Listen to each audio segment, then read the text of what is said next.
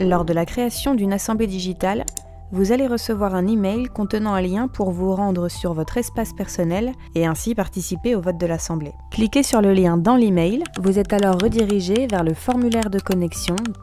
Renseignez vos identifiants et cliquez sur Je me connecte. Vous êtes redirigé sur le tableau de bord. À gauche, cliquez sur Assemblée générale. Sur la nouvelle page, vous trouverez l'Assemblée au statut En cours de vote. Cliquez sur Accéder au vote juste à droite. Nous vous invitons à bien lire toutes les informations affichées avant de cliquer sur Commencer.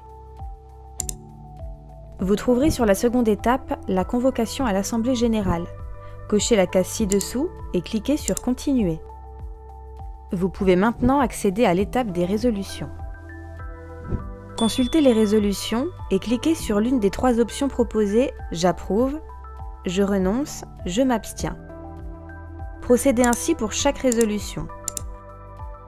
Cochez la case lorsque vous avez vérifié vos réponses pour confirmer votre vote et cliquez sur Confirmer mes votes. Une notification apparaît en haut de votre écran pour une ultime confirmation de cette étape.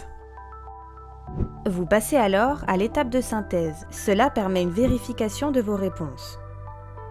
Vous êtes alors invité à confirmer que vous avez vérifié les informations saisies pour procéder à la signature électronique de votre bulletin de vote. Vérifiez que le numéro de téléphone et le mail affiché sont valides afin de recevoir les notifications pour procéder à la signature des documents. Cliquez sur Signer.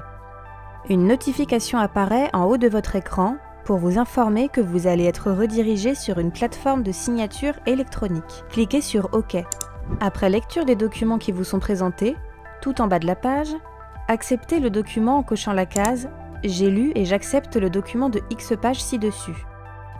Après avoir coché, vous recevez un SMS contenant un code à 4 chiffres que vous êtes invité à renseigner. Puis, à l'aide de la souris, dans l'encadré prévu à cet effet, apposez votre signature. Cochez les cases légales et cliquez sur Signer. Félicitations, vos votes ont bien été pris en compte. Patientez quelques secondes. Vous êtes automatiquement redirigé sur votre espace personnel Canovia. Si vous avez d'autres questions, cliquez sur Demande d'assistance depuis votre compte.